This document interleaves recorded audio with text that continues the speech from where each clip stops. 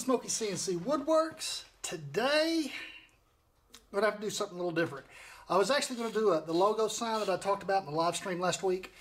And it, come to find out, we're going to be able to see the grandkid this week. So we were going to make some wooden ear tags, or wooden ear tags, wooden gift tags.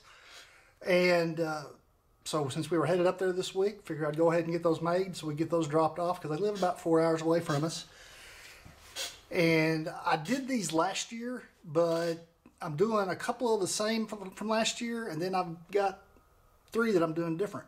Gonna be a different style. So today we're making wooden gift tags, so let's go.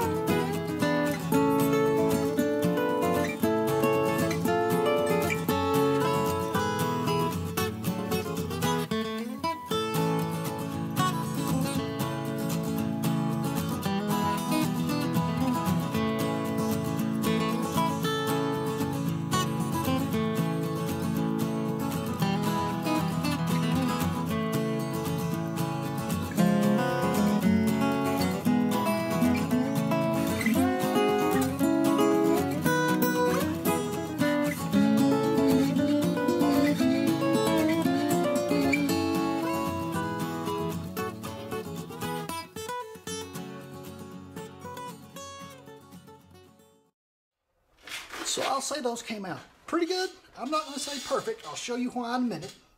But it's pretty neat the way they come out. So these are ones like from last year.